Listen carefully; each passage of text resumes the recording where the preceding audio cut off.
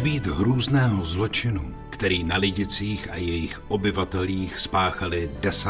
června 1942 nacisté, žila by tato starobělá česká ves nedaleko Kladna stejným tempem a běžnými každodenními starostmi až do dnešních dnů jako jiné vesnice.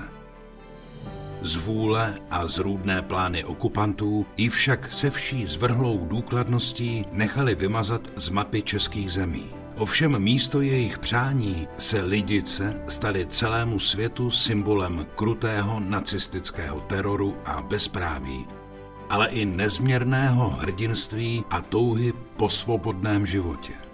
Na staré lidice vzpomínám vždy velice ráda, protože mé obrázky z té doby jsou spjaty nejen s krásným a šťastným dětstvím, ale i velice živými vzpomínkami na mé nejbližší, od nichž jsem byla později náhle natrvalo odervána a to takřka bez slůvka rozloučení. Za svobodna jsem se jmenovala Horáková, což bylo v Lidicích poměrně obvyklé příjmení, protože nás Horákových tam bylo opravdu hodně.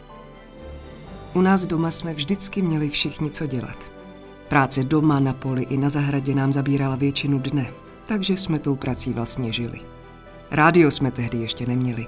To koupil můj starší bratr Josef rodičům až ze svého prvního důstojnického platu, krátce před válkou. A tak jsme si při práci stále zpívali. Tatínek měl nejraději píseň Vyzelení hájové bývali jste vždy moje. Ale tu si zpíval jen, když už bylo po práci a šli jsme domů. Nejstarším lidickým selským rodem byla rodina Rákosových, hospodařící na statku číslo popisné 24. Jeho zakladatel Tomáš Rákos totiž převzal hospodářství od někdejšího majitele Marka Kejly již někdy kolem roku 1690, takže na něm Rákosovi v době zániku obce žili přes 250 let. O prázdninách jsme sice jako děti do školy nechodili, ale i tak jsme měli řadu povinností, které jsme prokládali hrou. Dopoledne jsme většinou pásávali husy a přitom jsme si hráli. Na to jsme nepotřebovali žádné zvláštní hračky nebo náčiní, protože jsme navíc museli dávat pozor na husy, aby se nám nikam nezaběhli. Takže jsme třeba váleli sudy, dělávali jsme si v hlíně kuchynky a pokojíčky pro hadříkové nebo dřevěné panenky, hráli jsme drábky a také jsme si zpívali. Hodně jsme si vyhráli také se švihadlem a míčkem. Tloukli jsme špačky a švihali káču. Zkrátka, kdo si co vlastní šikovností vyrobil a zrovna přinesl, s tím se hrával. Ve starých Lidicích bývaly tři hostince, což na sto domů a necelých 500 obyvatel nebylo právě málo. Hostinští se proto museli hodně otáčet, aby své rodiny uživili. Posvícení bývalo hezké. Sešli se na něm příbuzní z Úhonic i Motyčína. Bylo veselo a večer se šlo k šilhánům tančit. Moc ráda si vzpomínám, jak jsme se jako malé děti dívali okny do sálu, jak rodiče tancují a jak jim to sluší protože to tehdy byla doopravdy vzácná chvíle vidět své rodiče ve svátečním. Rázovitou figurkou mezi místními podnikateli byl pan Augustin Pospíšil, který mýval malou trafiku přímo před kostelem.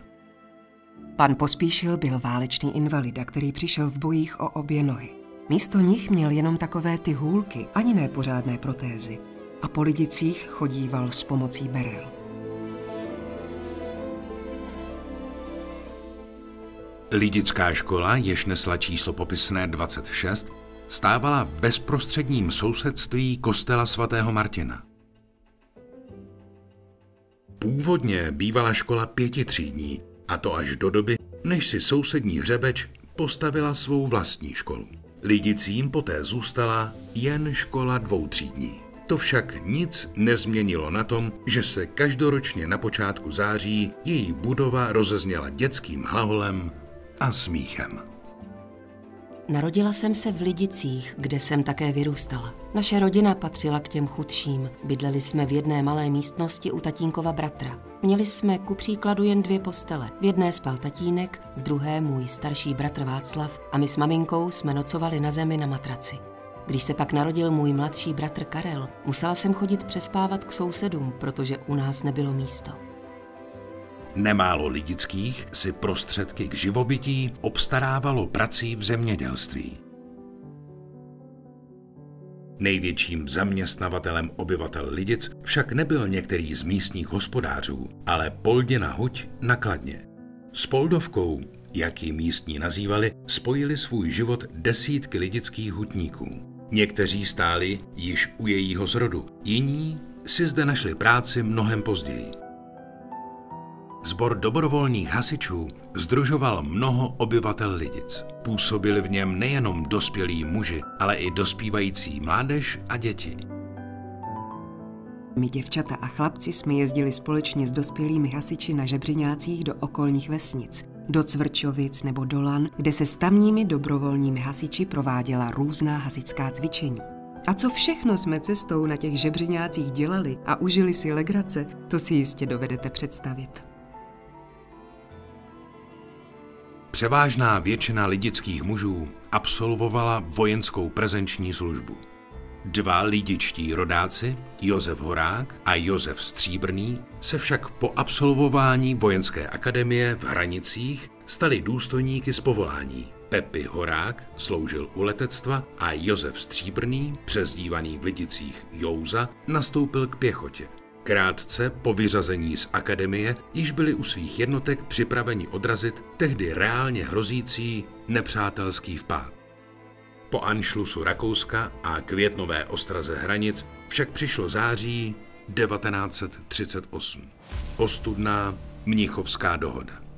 Josef Horák a Josef Stříbrný byli mezi o němi stovkami mladých mužů, kteří odešli za hranice a bojovali za osvobození své vlasti. Nejhorší doby pro náš národ nastaly poté, co k moci nastoupil Reinhard Heydrich. Bylo vyhlášeno stané právo, ve větší míře se rozeběhlo zatýkání a popravy.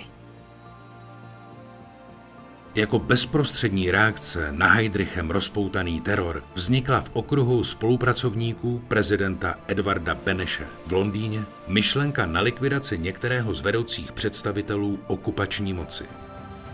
Brzy bylo rozhodnuto, že atentát musí být podniknut přímo na Heydricha. Přípravy k operaci, jež dostala krycí název Anthropoid, byly ve spolupráci s britskou SOE zahájeny 2. října 1941. V prosinci byli rotmistři Josef Gabčík a Jan Kubiš v sídle Československé spravodajské služby v Londýně znovu seznámení se svým úkolem a bylo jim uloženo, aby v protektorátu provedli akci, která bude mít patřičný ohlas jak doma, tak za hranicemi Československa. Vysazení skupiny provedla v noci z 28. na 29. prosinec 1941 osádka letounu Halifax, pilotovaného nadporučíkem Ronaldem C. Hakim od 138. perutě pro zvláštní úkoly. Atentát nakonec oba parašutisté provedli ve středu 27. května 1942 v 10.35 v Praze. Pokud se snad na podzim 1941 někdo domníval, že hůř již být nemůže, nacistické represálie rozpoutané po atentátu na Heydricha ho nutně museli vyvést z omylu. Už pouhý fakt, že jste v novinách denně viděli dlouhé seznamy popravených, jež byly navíc několikrát denně předčítány v rozhlase a v nichž bylo možné zaznamenat časté vyvražďování celých rodin za pouhé schvalování atentátu, bylo nesmírně depresivní a zasévalo to strach a beznaděj. I tak jsme si však nebyli schopni ani v nejmenším představit, že by se toto běsnění mělo naší rodiny, či snad dokonce lidic, nějakým zásadním způsobem dotknout. Přesto se tak stalo. Ve středu 3. června 1942 do továrny Palaba ve Slaném dorazil dopis adresovaný dělnici Aně Maruščákové. Protože byla právě nemocná, otevřel ho neoprávněně továrník Jan Jaroslav Pála. Dopis se zdál továrníkovi podezřelý a proto na něj upozornil bezpečnostní složky. Ještě téhož dne byla v Holousích zatčena Anna Maruščáková a o den později i autor dopisu Václav Říha z Vrapic, jenž se snažil vyvoláním dojmu o své odbojové činnosti na Maruščákovou nejprve zapůsobit a později jejich vztah stejným způsobem ukončit.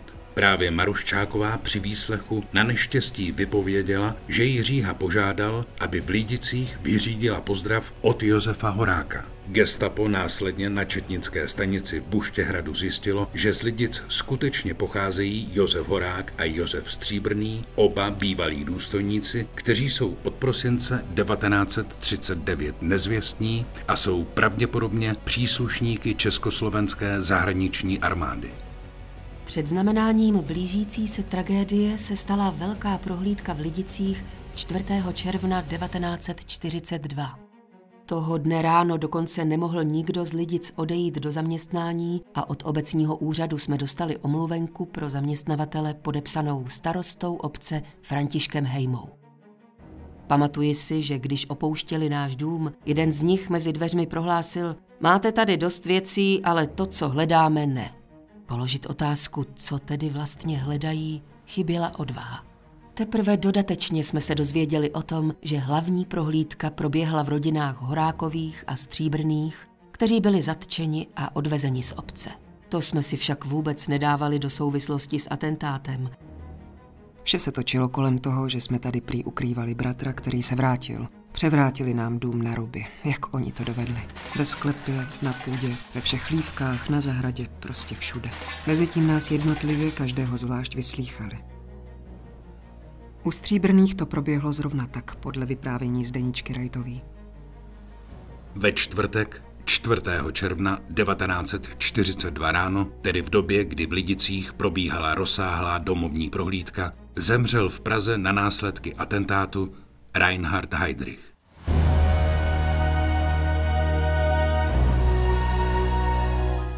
Vůdce rozkázal v Lidicích provést následující opatření. Za prvé, všechny dospělé muže zastřelit. Za druhé, všechny ženy převést na doživotí do koncentračního tábora. Za třetí, děti, které je možno poněmčit, schromáždit a dát do rodin SS v říši. Zbytek vychovat jinak. Za čtvrté, obec úplně vypálit a srovnat se zemí. Několik hodin po půlnoci 10. června 1942 začala vlastní akce. Strhli zatemnění, rozsvítili a otevřeli okna do kořán. Vedli nás dolů na náves. Po cestě jsme ani nemluvili. Jenom jsme spozorovali, že někde už se svítí, někde ještě byla tma. Bylo nám tedy jasné, že tam, kde se svítí, už jsou. Lidice byly úplně obklíčené, ani kočka by snad neutekla. V zápětí nás vyhnali ven před dům a vedli nás po ulici dolů z kopce až k Horákovu statku. Tam nás postavili na dvůr, ještě celou rodinu i s tatínkem a s bratrem. Stáli jsme tam několik hodin, když začali postupně přivádět další a další muže. Nikdy nezapomeneme na poslední pohled na lidickou náves. Na schodišti školy byly rozházené dětské peřinky a chrastítka, převrácené dětské kočárky, do kterých esesáci kopali, když z nich vyděšené matky brali své děti. Po návsi pobíhali kňučící psy. Auta se dala do pohybu a my jsme poloodkrytou plachtou uviděli muže stojící na dvoře Horákova statku. Kolem sedmé hodiny raní bylo na zahradu přivedeno prvních pět mužů a postaveno ke zdi čelem k 20 člené popravčí četě a to asi s půlmetrovým rozestupem. Každý z lidických mužů byl střelen dvěma ranami do prsou a jednou do hlavy. Po této salvě přistoupil k zastřeleným poddůstojník a každého z nich střelil ještě jednou z pistole do hlavy. Krátce po zahájení prvních poprav se začal Horst Böhme rozčilovat že jde vše příliš pomalu a nařídil proto zesílit popravčí četu, aby mohlo být vražděno vždy deset lidických mužů najednou. K polednímu popravy skončily. Z Lidic byly ženy spolu s dětmi převezeny do Kladna, kde je nacisté uvěznili v tělocvičně tamního reálného gymnázia. Třetí den k večeru, byl to pátek, Přišlo do tělocvičny několik důstojníků gestapa a oznámili nám, že půjdeme na nějaký čas do pracovního tábora, kam my pojedeme vlakem a děti kvůli většímu pohodlí autobusy. Přečetli seznam dětí podle abecedy a žádali, aby je matky přivedly ke dveřím v pořadí tak, jak je četli. Ženy odmítly děti vydat a žádali, aby děti jeli společně s námi, s jejich matkami, které se mohou o ně postarat lépe než cizí lidé. I moje malá Alenka se celá třásla, protože se vojáků bála a nechtěla ode mě odejít. Na to jeden z přítomných gestapáků vystřelil z pistole do stropu a za řevu a asistence 50 příslušníků šupo od sebe začali odtrhávat matky a děti násilím. Chytali jsme své maličké do náručí a nechtěli je pustit. Děti strašně plakaly. Dodnes slyším, jak Maruška strašně křičela Maminko, pro boha, nedávej mě, oni mě zabijou. To si máma, když mě dáš. Dodnes se roztřesu, když si vzpomenu, jak nás tehdy nakladně brali našim maminkám. Každá si své dítě k sobě tiskla a nechtěla ho pustit. To, jak mě maminka křečovitě držela v náručí, cítím dodnes. Přesto nelze vypovědět pocity žen, které museli u dveří tělocvičny předat své dítě. Tehdy jsem svou dcerušku viděla naposledy. Po vypálení obce pokračovalo ničení lidic silnými náložemi až do odpoledních hodin 1. července 1942. Dům za domem a usedlost za usedlostí se za ohlušujících explozí, slyšitelných v širokém okolí, postupně proměňovaly v hromady sutin. 24. června 1942 došlo ke spáchání dalšího bestiálního zločinu na osadě Ležáky na Chrudimsku. Ta byla rovněž vypálena. Dospělí obyvatelé, tentokrát včetně žen, zastřeleni a děti s výjimkou sester Štulíkových zavražděny v Chelmnu. Místu, kde stávaly lidice, říkali nacisté v té době Forwerk – Obrovské objemy sutin ze zničených domů byly rozmístěvány na různá místa tak, aby se co nejvíce změnil relief krajiny v okolí Lidic. Některá návrší zcela zmizela, jiná byla uměle vytvořena. Vše bylo následně pokrýváno dováženou ornicí. Transport 88 lidických dětí odjel z kladenské reálky do Lovosic, kde nastoupil do vlaku, jenž děti 13. června 1942 dopravil do Lodže. Jeli jsme městem a pamatuji se, že jsme míjeli nějakou velkou budovu, kde bylo mnoho lidí. A tak jsme mysleli, že tam budou naše maminky, které snad dorazily dříve. Avšak auta pokračovala v cestě a pojednou auta odbočila do velkých vrat a zastavila ve dvoře, kde jsme museli vystoupit. Malé děti plakali, volali maminky a jakmile jsme je začali těšit, okřikovali nás provázející Němky.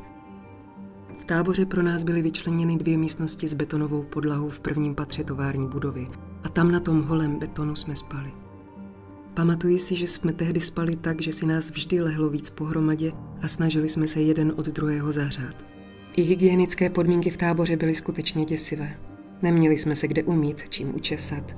Stále jsme byli jen v tom oblečení, ve kterém nás tak narychlo vyhnali. A to se nám pomalu začalo trhat a rozpadat. Co bylo v lodi hrozné, byl hlad. Ráno jsme dostávali takové červenohnědé plechové misky s černým kafem, jako dlaň chleba s margarínem nebo marmeládou. V poledne něco, co asi měla být polévka, ale ve skutečnosti to byla jen řídká obarvená voda, níž občas plaval nějaký brambor nebo kus kosti. Večer se opakovalo to samé jako ráno, tedy kousek chleba a kafe. Ztratila jsem naprosto pojem o čase. Nevěděla jsem, co je dnes za den, jaký je měsíc, nic. Ale myslím si, že jsme tam mohli být takových 14 dnů. Déle to asi nebylo. Celou tu dobu jsme vzpomínali na domov, na naše nejbližší. Teprve tam si člověk uvědomil, co to je ztratit rodinu a domov. Přibližně dva týdny po příjezdu do Lodže bylo úředníky místní služebny, hlavního rasového a osídlovacího úřadu vybráno náhodně k poněmčení šest děvčat, Marie Doležalová, Emílie Frejová, Anna Hanfová, Marie Hanfová, Eva Kubíková, Věra Vokatá a jeden chlapec, Václav Hanf. Hned poté jsme museli odejít na dvůr, kde již stálo připravené nákladní auto. Naložili nás a odvezli pryč. Ani rozloučit jsme se nestačili. Jen si pamatuji, že když nás odváželi, ty zbývající děti vyběhly na dvůr a mávali nám. To bylo naposled, kdy jsme je viděli. Adolf Eichmann dal koncem června 1942 definitivní rozkaz k bestiální vraždě. V úterý 30. června 1942 dostali lidické děti možnost napsat korespondenční lístky svým příbuzným. Milý strýčku a tetičko, již 14 dní jsme zde a ještě jsme se nepřevlékli. Pošlete nám nějaké prádlo a nitě, jehly, lžíce a nějaké peníze, německé, kovové. Pošlete nám chleba a kdyby jen třeba kůrky, co dáváte doma králíkům. Tež nám sdělte, co je s tatínkem a maminkou. Byla byste tak laskavá a poslala nám kousek chleba nebo nějakou buchtu. Vše rádi přijmeme. Potřebujeme vše, nač si jen vzpomenete. Nepsala vám náhodou maminka nebo tatínek? A co dělají lidice? Odepište. Nezlobte se na mne, že vás obtěžuji a tolik toho na vás chci, ale snad vám to oplatím. Předem vás pozdravujeme a posíláme hodně pusinek a tisíc vzpomínek. Babičku, prosím vás, mohla byste mě poslat nějaké šaty na převlečení a spodní prádlo? Nevzala jsem si nic než jedny šaty a jsme na boso. Prosím vás, abyste nám poslala kousek chleba, jestli vám zbývá. Drazí, pozdrav z bývalého Polska bez otce a bez matky zasílá Máně a Kája. Nevím ani, kde jsou rodiče. Náš majetek je to, co máme na sobě. Ve čtvrtek 2. července 1942 bylo zbývajících 81 lidických dětí předáno v loďi místní úřadovně gestapa. Ta je v zápětí nechala převést do 70 kilometrů vzdáleného vyhlazovacího tábora v Chelmnu nad Nerem.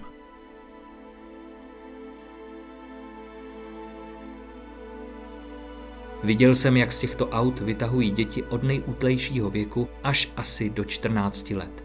Z oken mého domu jsem zřetelně viděl, že děti vysvlékly ze šatů a prádla a že stály nahé u oken nedalekého zámku stojícího v táboře. Děti z Lidic byly zavražděny v plynových autech a následně pohřbeny v lesích v okolí Chelmna nad Nerem.